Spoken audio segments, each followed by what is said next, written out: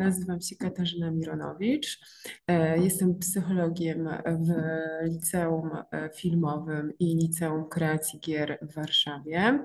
E, obecnie nagrywamy nasze nagranie z Bukowiny Tatrzańskiej, bo przenieśliśmy naszą szkołę w Tatry. Przyjechaliśmy tu z naszymi uczniami, e, aby nagrywać filmy, tworzyć gry w, na Podhalu. E, więc działamy peer supportowo też e, w górach e, na ten moment. Są ze mną dwie osoby, które są e, w projekcie Peer Support e, od początku e, w szkole i są bardzo zaangażowani. Bardzo chciałam ich tu zaprosić, bo tak naprawdę bez nich nie, nie byłoby programu. Są jakby schoolworkerzy są tutaj kluczowymi postaciami, graczami w tym, w tym projekcie. Ja jestem koordynatorem więc będziemy chcieli e, opowiedzieć, jak to u nas e, działa. Zaczęłabym od samego początku. E, mniej więcej maj 2022 roku, kiedy dostajemy na skrzynkę szkolną zaproszenie od pana Macieja Ciechomskiego do wzięcia udziału w projekcie Peer dla dzielnicy Żoliborz w Warszawie. Kiedy dostałam tą wiadomość, pomyślałam sobie, że tak, że e, jest to taka fajna odpowiedź na to, czego tak e, potrzebujemy e, w szkole, bo będąc psychologiem, szkolnym i działam w zespole razem z dwiema koleżankami. Tak naprawdę to jakby wsparcie rówieśnicze i, między, między nastolatkami i nasze jako e, kadry, czy to nauczycieli, czy psychologów, e, to się dzieje, to jest na co dzień. E, mamy, mamy fajny, super takich świadomych, wrażliwych uczniów i, i my po prostu ze sobą rozmawiamy. Natomiast jakby przystąpienie do projektu Peer Support daje mi takie poczucie, że jestem w jakiejś organizacji, że to jest jakiś, jakaś struktura, że że są kręgi wsparcia, czyli e, zaczynając od szkoły, od, od tego, co się u nas dzieje, czyli uczniowie, potem e, my jako kadra, potem e, jako koordynator mam wsparcie innych koordynatorów, którzy biorą udział w projekcie, wsparcie pana Ciechomskiego e, i dalej kręgi wsparcia idą tak cebulowo do poradni i do specjalistów zewnętrznych. E, chciałabym przedstawić e, uczniów, którzy są obok, e, natomiast pokazuje się tylko ja, ich będzie słychać. Obok mnie siedzi Olena i Michał. Są to uczniowie klasy drugiej i są w projekcie od początku, czyli jakby zaczynaliśmy, kiedy byli w pierwszej klasie. E, ma to znaczenie, bo e, jakby pierwsze klasy to też jest taka adaptacja, poznawanie szkoły e, i od razu z pierwszymi klasami weszliśmy z, z peer supportem, czyli z, ze wsparciem rówieśników w kryzysie. Czy chcecie coś powiedzieć od siebie, co robicie jako Liceum Kreacji Gier Wideo? Co to może oznaczać jako profil naszej szkoły. Tak. Uczymy się robić gry. Mogłabym bardziej powiedzieć o tym, e, co mi się podoba w Peer Supporcie odnośnie tych kręgów wsparcia. Tak, na pewno yy, mamy. No teraz proszę, zapraszam Cię. E, no to generalnie sam pomysł e, wsparcia rówieśniczego to nie jest nic nowego, tylko że bardzo często w szkole podstawowej widziałam ludzi, którzy chcieli pomóc innym, i albo robili to popełniając jakieś błędy, które skutkowały tym, że oni się potem gorzej czuli, czy ta osoba, której chcieli pomóc, albo było to po prostu nieskuteczne. I peer support y, odpowiada na tę potrzebę w ten sposób, że nauczono nas, jak się pomaga. I jeśli szkolenie czegoś nie pokryło, ja mogę pójść i spytać. Sytuacja jest taka, jak się, jak się to rozwiązuje. I to jest moim zdaniem bardzo ważne. O szkoleniach zaraz powiemy, bo przyszliśmy szkolenia my jako kadra i uczniowie chętni, ale też mówisz, że, że, że czujesz tą, te, te kręgi wsparcia, prawda? Że, że wiesz do kogo się zwrócić. E, czyli no jesteśmy w tej strukturze. Michał, coś teraz byś chciał dodać? Na razie chyba wszystko zostało pokryte przez koleżankę. Dobrze. E, to, to idąc, e, idąc e, teraz z tematem szkoleń. Zgłaszając się do projektu, najpierw w czerwcu przeszliśmy jako kadra e, szkolenie mm, e, trzydniowe po kilka godzin dziennie, gdzie ja jako koordynator i dwóch nauczycieli polonistów naszej szkoły, osoby, które się zgłosiły, które jakby uczestniczą i, i są zaangażowane też w wsparcie uczniów na co dzień. To był czerwiec, kiedy wróciliśmy po wakacjach do szkoły szkoły. Zaczęłam informować e, uczniów e, o tym, że e, taki projekt jest wdrażany do nas, do szkół. Zorganizowaliśmy spotkanie takie informacyjne z panem Maciejem Ciechomskim, który nas odwiedził, który opowiadał jakie są cele projektu, jak, jak to w założeniu ma wyglądać. I zgłosili się e, e, uczniowie. Pamiętam, że to były klasy pierwsze, drugie i trzecie. E, osób zainteresowanych, a było ich około 40. Osoby te zostały zaproszone na szkolenia. I na, uczniowie przeszli trzydniowe szkolenie z Mm, ze szkoleniowcem, e, gdzie czego się nauczyliście? Moglibyście powiedzieć? E, główne moje wspomnienie to jest klepanie jednej zasady e, ciągle. Zaadaptowanej w sumie chyba z ratownictwa medycznego, czyli moje bezpieczeństwo pierwsze, bo jeśli mi się coś stanie, to nie pomogę skutecznie innym. I z jednej strony trochę nudziło się słuchać tego e, tak 10 razy na dzień, a z drugiej strony to sprawia, że pamiętamy tę zasadę, a to naprawdę jest bardzo kluczowe.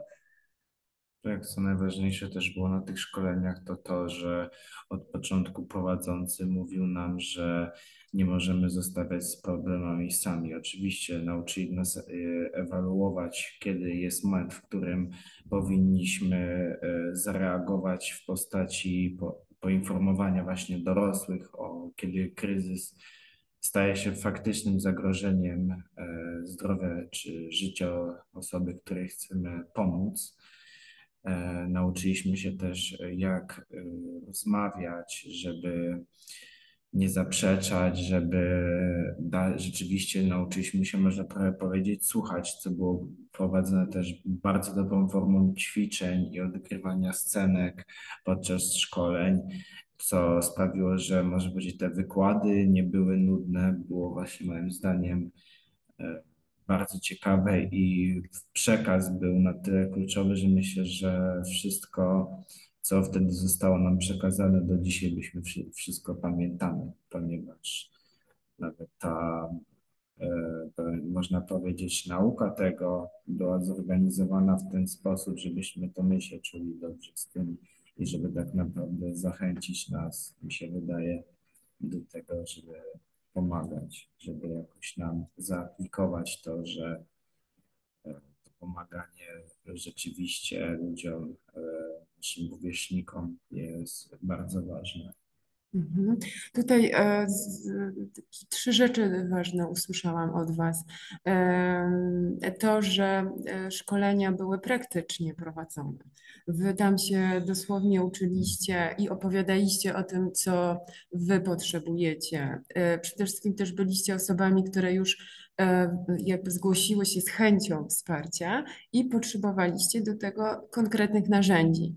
I dużo często o tym rozmawialiśmy, że te narzędzia tam e, otrzymaliście, prawda? Że to były takie konkrety, które przećwiczyliście w grupach. Pamiętam, jak mówiliście, że było to dla Was cenne, że tam były ćwiczenia w grupach. E, i potem mogliście sobie na podstawie e, ćwiczeń e, gdzieś tam odnieść się już w sytuacji rzeczywistej, kryzysowej. Michał, żebyśmy nie zapomnieli, ty nas zaczarowałeś taką opowieścią o tramwaju. Chcesz krótko wspomnieć, jak to było? No, mogę wspomnieć, to było e, że na początku zeszłego roku albo e, szkolnego jakoś, znaczy inaczej, to było kilka tygodni przed tym, jak rozpoczęliśmy e, zajęcia z peer supportem, te zajęcia Mhm. czy szkolenia. Mhm. E, wracałem do domu z treningu w tramwaju, byłem sam. Jeszcze była jedna osoba w tramwaju, do, która dość głośno, że tak powiem, przeżywała coś i do niej podszedłem. E, zapytałem się, czy wszystko jest e, dobrze. I e, rzeczywiście powiedzieć. No, zapytałem się, czy wszystko jest dobrze. Osoba mi wytłumaczyła, w jakiej sytuacji się znajduje. Ja się zapytałem, czy ma gdzie się podziać. Wyszedłem na jakimś przystanku zaproponowałem tej osobie papierosa i e, porozmawiałem z nią, po czym się rozeszliśmy w swoje strony. Mhm. Rozmawialiśmy o tym. Chciałem się trochę poprawić, bo wcześniej powiedziałem, że to było ze dwa tygodnie przed, a to było ze dwa tygodnie po rozpoczęciu zajęć peer supportem. Tak? Chciałem powiedzieć, że myślę, że właśnie te zajęcia dały mi trochę odwagi, żeby podejść, bo tak naprawdę ta sytuacja no, nie była za bardzo bezpieczna, Mhm. bo nigdy nie wiadomo, kogo się spotka, tak, bo Mhm. zawsze ta osoba mogła na przykład wyciągnąć nóż czy zrobić coś, tak, i to jest zawsze jakieś tam ryzyko, ale Mhm. myślę, że właśnie te zajęcia na tyle dobrze nauczyły nas właśnie ewoluować, kiedy, jak zareagować, że miałem w sobie na tyle odwagi, żeby podejść i zapytać się, czy wszystko jest dobrze. Mhm. To, co też często sobie powtarzamy i co jest e, takim e, kluczem też w supporcie, e, to jest zasada reaguje, widzę i przekazuję dalej. I, i to się zadziało, tak? Michał zareagował, zauważył, zaproponował może totalnie prostą rzecz, jak po prostu wysz, wy, wyszliście z tramwaju i, i po prostu i, i, i gdzieś tam okazałeś swoje zainteresowanie i my nie wiemy, na ile to, co zrobiłeś, e, e, potem e, jakie miało konsekwencje, ale myślimy sobie, że że mogło mieć ogromne, tak? Czyli, e, czyli to, że ktoś zauważył tę osobę i wiedział, jak e, postąpić, a, a Michał e, mówisz, że, że czułeś się pewniejszy i bezpieczniejszy, kiedy, kiedy, byłe, kiedy byłeś bezpośrednio po szkoleniu. Tu jest też bardzo ważna druga historia i żebym nie zapomniała, to teraz ją też będę chciała opowiedzieć. Mm, w zeszłym roku byliśmy też w Bukowinie i też się zadziała bardzo ważna rzecz, peer supportowa i osoba, która obok mnie siedzi, zadziałała bardzo odpowiednio i, e, i myślę sobie, że mogło to mieć tylko dobre skutki.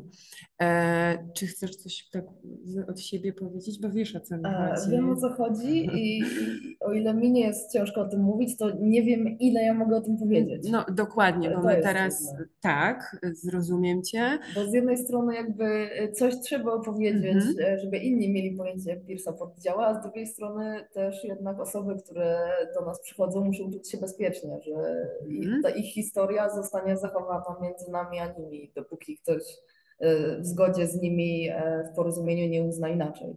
Dokładnie. Tutaj sobie przeskakujemy też na taki bardzo ważny temat, jaka jest trudność school workerów w szkole bycia w, w peer bo e, nastolatkowie chcą być dla siebie fair, czy jakbyście to nazwali swoim językiem.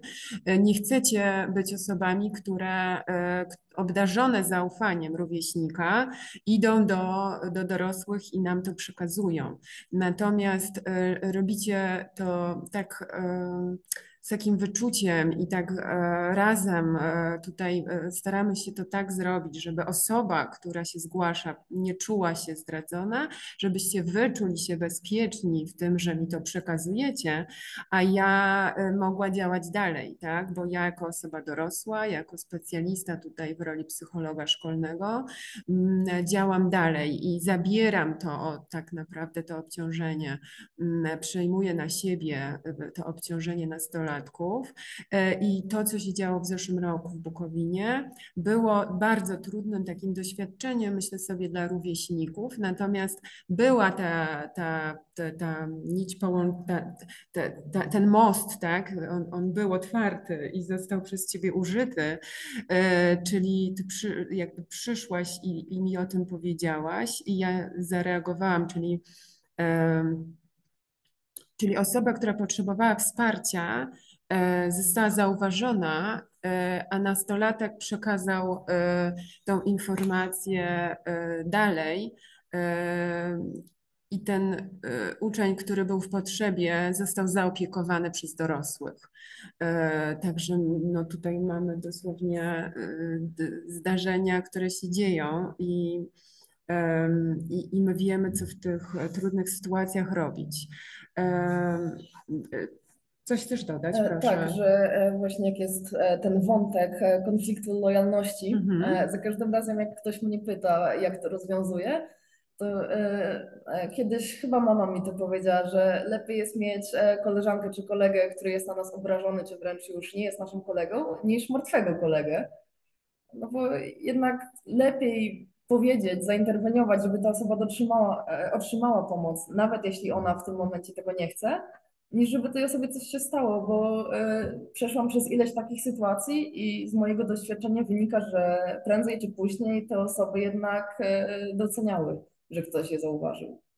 Tak, czyli widzicie Państwo, to, to się wszystko dzieje, oni w tym żyją i oni się z tym borykają tak naprawdę, a mając taki program Peer Support, mając koordynatora, ty też Michał wczoraj fajnie o tym opowiadałeś, jak rozmawialiśmy, że mm, te superwizje, które się dzieją w szkole, coś ci dają, możesz powiedzieć? Tak, bo e, jeszcze jednym z bardzo ważnych struktur właśnie e, w Peer Supporcie są mniej więcej raz w miesiącu organizowane spotkania, na których mamy okazję właśnie porozmawiać e, o, o tym, co przeżyliśmy, czy mieliśmy jakieś sytuacje nowe, którymi, z którymi chcielibyśmy się podzielić. Możemy się zawsze dopytać, e, właśnie jeśli czegoś nie wiemy, czy jesteśmy niepewni w jakiejś sytuacji.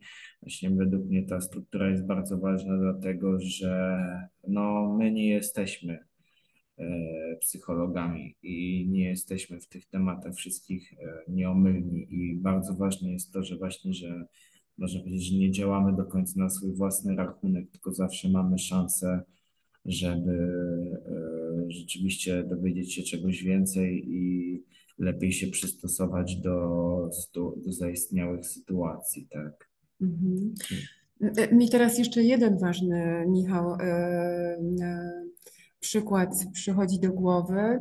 E, zdarza się czasami tak, że mm, ktoś znika, tak, że e, przecież wy macie ze sobą mnóstwo e, jakby okazji do tego, żeby się komunikować, natomiast w którymś momencie jakaś osoba znika i zostajecie z tym, sami i zastanawiać się, co się dzieje.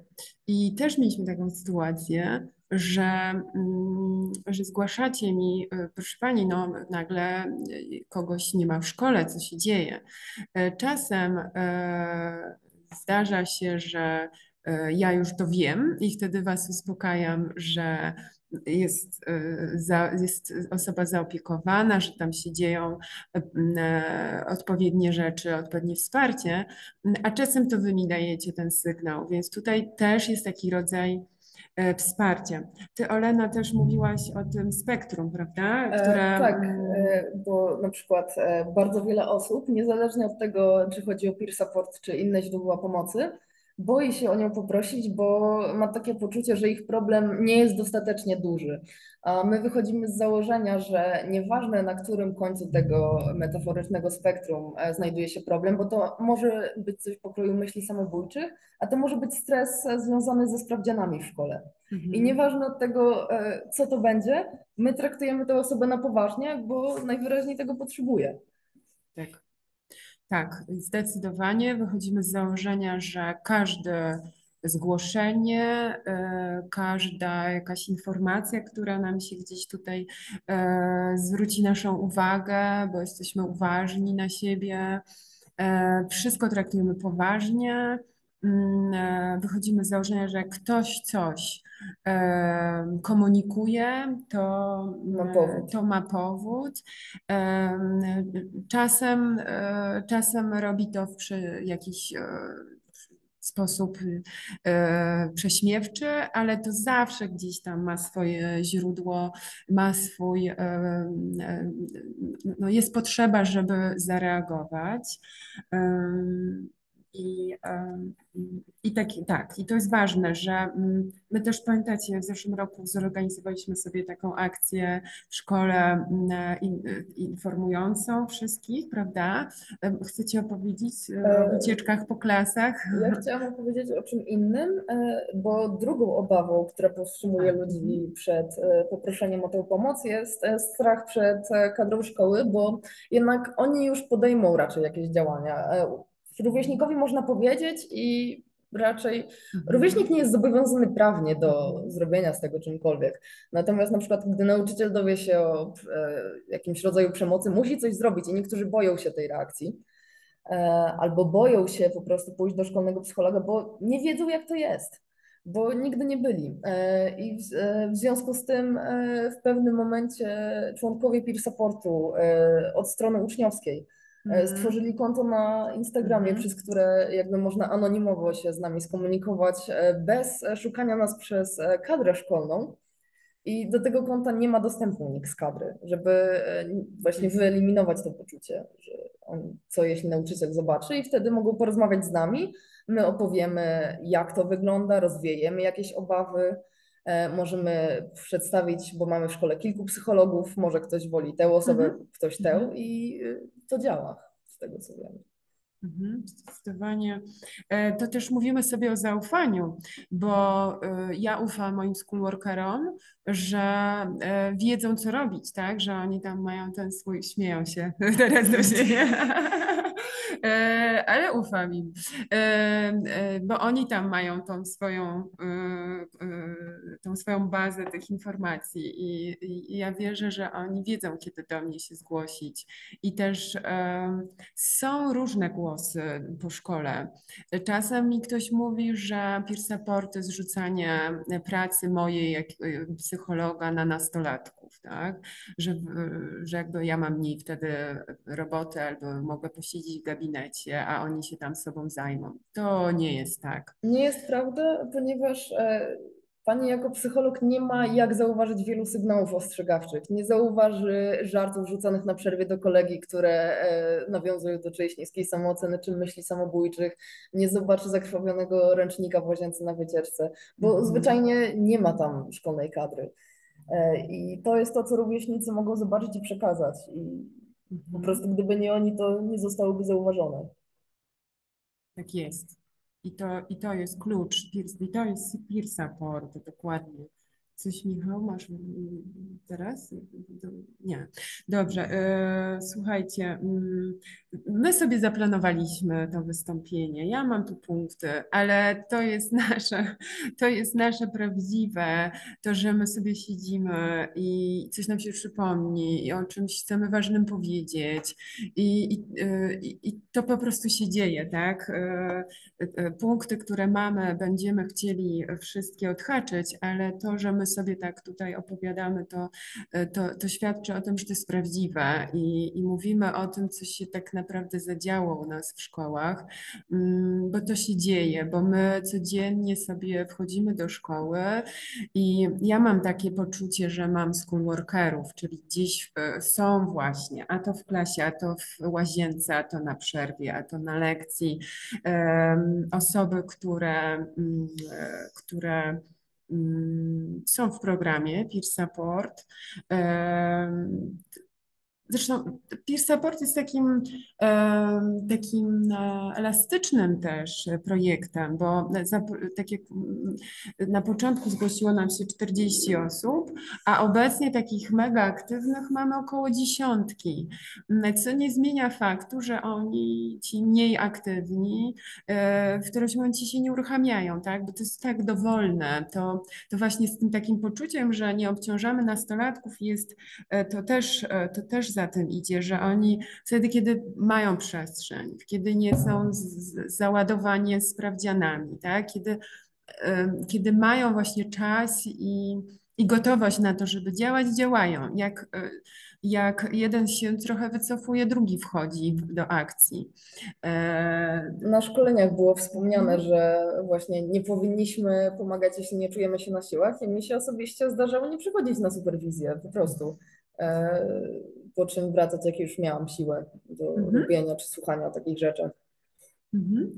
Tak, te superwizje to jest też coś ważnego. To jest też dla mnie mm, możliwość spotkania się ze schoolworkerami. Zawsze tam bardzo ważne rzeczy się dzieją.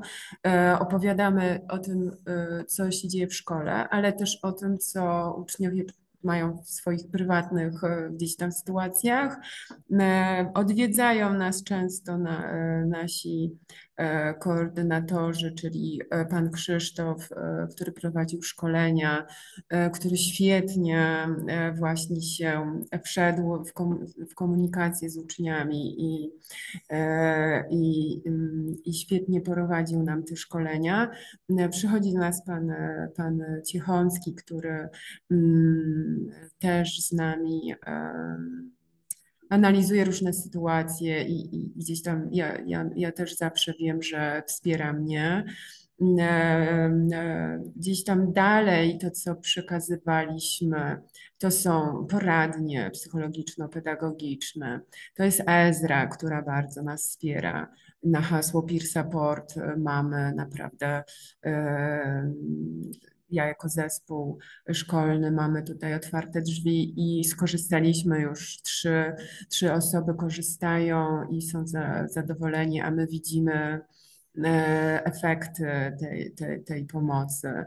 Mm, Są e, cała baza psychiatrów, psychoterapeutów, e, którzy znają nas i którzy też polecają naszą szkołę jako miejsce, gdzie każdy może na swój sposób się odnaleźć, e, gdzie szkoła właśnie jest wspierająca, gdzie działa program Peer Support. To ja wiem po prostu z rozmów z rodzicami, że tak, e, e, że tak też specjaliści to widzą ze swojej strony. E, Tematy, w których, e, z którymi dzielą się rówieśnicy, tak jak mówiła Olena, mnóstwo tego jest. To są różne, różne e, historie. E, tak sobie zaglądam, czy, czy czegoś nie zapomnieliśmy. A, wróćmy do tych e, historii klasowych, tak? Bo pomyśleliśmy sobie, że tak naprawdę cała szkoła ma wiedzieć o tym, że my jesteśmy. E, I y, trzech, czterech, pięciu, w zależności jak byli dostępni, schoolworkerów, e, prze, odwiedziliśmy e, wszystkie klasy w naszych szkołach i e, opowiadaliśmy w tam dosyć, e, nie wiem, około 10 minut, opowiadaliśmy o tym, co robimy. Coś I zostawiliśmy kontakt do siebie. Tak, no jest to E, konto. Oraz kilka osób, e, które jakby nie ma problemu z tym, żeby inni wiedzieli, e, że są schoolworkerami, bo niektórzy właśnie boją się, że inni stracą do nich zaufanie. Mhm. Ale kilka osób, które jakby nie przejmowało się tym, e, powiedziało też otwarcie, hej, e, to to jestem ja, nazywam się tak, jestem schoolworkerem i możecie do mnie podejść. Mhm. E, Także w ogóle nie Mhm. trzeba było Mhm. e, przez e, właśnie to konto na Instagramie czy kadrę nas szukać, bo jakby ludzie wiedzieli, kim jesteśmy. Tak, tak. Część może się gdzieś tam bezpiecznego swojego ukrycia wspierać, część, która czuje się na siłach schoolworkerów, po prostu się pokazują i mówią, jesteśmy w razie potrzeby e, szukajcie nas e, po, po korytarzach szkolnych. E, Ważnym elementem jest to, że w żadnym momencie nie ma takiej presji. Ja mogłam pójść na to szkolenie, po czym nigdy nie przyjść na żadną superwizję. E, Co jakby, no, Ale fajnie, fajnie by było, jakbym przyszła, ale nie byłam do tego w żaden sposób zmuszona. Tak samo e, jak mogę na przykład być aktywna, ale jednego miesiąca czuć się gorzej, uznać, że tego miesiąca ja nie będę rozmawiać z ludźmi, że ja przekieruję do koleżanki. I to jest o tyle dobre, że ludzie, którzy czują, że na przykład co jakiś czas mogliby pomagać, ale mają okresy, kiedy nie, e, nie zniechęcą się, bo wiedzą, że będą mogli zrobić sobie tę przerwę. mhm. I to jest bardzo ważny element. Mhm. Y, Dobrze, słuchajcie, jakby tak jeszcze podsumować, co nam Peer Support dał y, w szkole? Y, Z mojego punktu widzenia, tak jak, tak jak na początku, Zmniejszenie stygmatyzacji na pewno. o, stygmatyzacji w jakim sensie? E, bo bardzo często jest, mam wrażenie, w Polsce podejście, że wszelkiego rodzaju choroby psychiczne czy problemy to Mhm. jest coś, co się powinno zachować dla siebie. Mhm. A tak nie jest, bo to wtedy narasta. I powinno się rozmawiać, i w momencie, w którym widzimy, że nasza szkoła e, robi coś takiego, taki program jak Peer Support, e, widać, że jest o wiele mniejsza szansa, że ktoś nas wyśmieje czy zbagatelizuje nasze problemy e, w momencie, w którym o nich powiemy. Mhm. E, Tak, tak, to zdecydowanie e, chcemy, żebyście, e, ja teraz mówię od siebie jako kadra, chcemy, żebyście wiedzieli, że mm, chcemy zauważać, wspierać nastolatków w kryzysach i w waszych potrzebach. Chcemy, żebyście wiedzieli, że o tym się u nas mówi, tego się nie chowa. Jakby nie unikamy tego, że coś się dzieje e, rozwiązujemy e, trudności, szukamy rozwiązań. E, Czasem łatwiej je znaleźć, czasem trudniej, ale jesteśmy w tym wszyscy razem i, i ostatecznie mm, można znaleźć rozwiązanie. Mm, I też takie mam poczucie, że mm, psycholog szkolny różnie jest odbierany. Czasem z innych doświadczeń, czasem właśnie z jakichś innych opinii. Po prostu się go unika, a tutaj mam poczucie, że po prostu jesteśmy razem, działamy razem i, i to jest fajne i to jest super, że, że jesteście ze mną. Tak, E. e, czasami też e, ktoś, kto potrzebuje porozmawiać, e, niekoniecznie rozmawia ze mną e, o tym, co go e, męczy, tylko na przykład e, jako, że ja nie mam bardzo problemu, żeby pójść sobie pogadać ze szkolnym psychologiem, bo e, no, Mhm. jakby nie mam takiego poczucia, że coś na tym mogę stracić, to jestem w stanie potem pójść do tej osoby i jej zrobić taką jakby recenzję. Albo psychoedukację trochę. E, Tak, wyjaśnić, jak działa psycholog, co może zrobić, co nie, jak działa e, ta tajemnica, e, jak to się Mhm, nazywa, mhm. nie, nie To pamiętam. zawodowa. No właśnie, E, ale właśnie mogę powiedzieć, że e, no, ta osoba rozmawiała ze mną tak i tak, zwróciła uwagę na to, nie, to nie jest tak, że e, od razu zadzwoniła do moich rodziców, czy mnie wyśmiała, spokojnie. I wtedy ta osoba pójdzie sobie do psychologa i jakby jej wątpliwości mogą zostać rozwiane, więc to też jest fajne w tej współpracy. Moim zdaniem też bardzo ważne jest to, że w końcu zaczęliśmy, to już trochę nawiązuje do tego, co było powiedziane wcześniej, ale w końcu zaczęliśmy takie naprawdę normalizować rozmawianie z ludźmi o swoich problemach. To już było powiedziane, chcę to trochę rozwinąć, bo Mhm. e, ja na przykład mogę sobie zdawać sprawę, że ktoś ma problem, ale ta osoba mi o tym nie powie, dlatego że e, przyjechała się na czyimś zaufaniu i jakby moim zdaniem co ten projekt robi, inaczej co stara się osiągnąć, to właśnie e, taki e, stan, można powiedzieć, w którym ta rozmowa e, nie będzie czymś kompromitującym, czy czymś, czego się trzeba wstydzić, czy czymś, za co mogą być jakiekolwiek domniemane problemy, nie? Mhm. że zaczęliśmy jakby trochę, można powiedzieć, ewoluować z tego, co nam, z tego, co było wcześniej, tak. Zaczęliśmy wreszcie jakby trochę się dostosowywać do e, takich problemów, które są te duże teraz, a nie które, a nie uczyć się o problemach, które były duże kiedyś. Bardzo, bardzo ważne są Wasze głosy.